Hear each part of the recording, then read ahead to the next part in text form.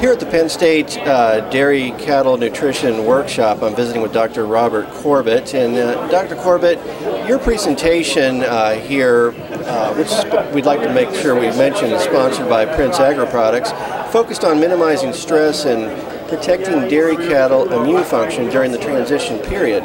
Why is that important in terms of health and production? The main reason is that the biggest time that animals end up leaving the herd is usually the first 60 days following uh, calving. And the major reason is problems with their immune system and metabolic disease. Mm -hmm. And through nutrition and management, we can have the biggest effect on minimizing both of those issues around the time of calving.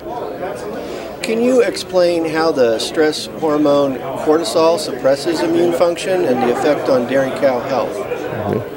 Cortisol, the hormone cortisol, is normally released at the time of calving by the, the fetus itself to initiate the calving process.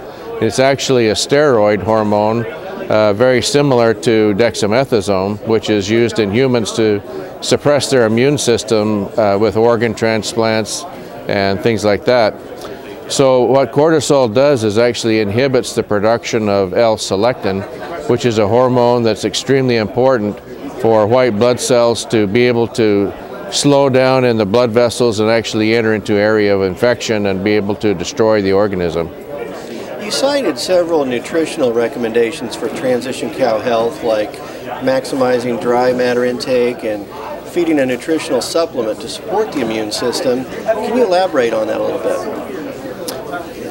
Um, in general, dry cows are usually not fed very well. Traditionally, they're on poor quality feeds and rations, and as a result are uh, uh, low on energy and protein around the time of calving. Uh, I like to see higher energy and protein levels, um, a negative DCAD ration to maximize calcium absorption, and then there's products such as uh, available such as Omnigen that's been proven to stimulate their immune system around the time of calving.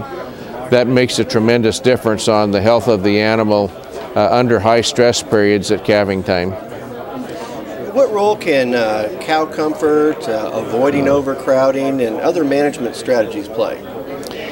Um, all of those issues increase stress on the animal. So we have a physiological stress that could be due to uh, severe environmental changes or uh, free stalls that are not comfortable, uh, issues like that, inclement weather. Uh, we need to do anything we can possibly do to make sure that the animals are comfortable and minimize the stress. If we minimize stress, we'll also minimize the level of cortisol in the bloodstream. You also noted that impaired immune function can result from low blood calcium in close-up cows. Can you discuss the connection between blood calcium and immune function? Yeah. Calcium is now called the second messenger of the immune system, and it's actually stored inside white blood cells.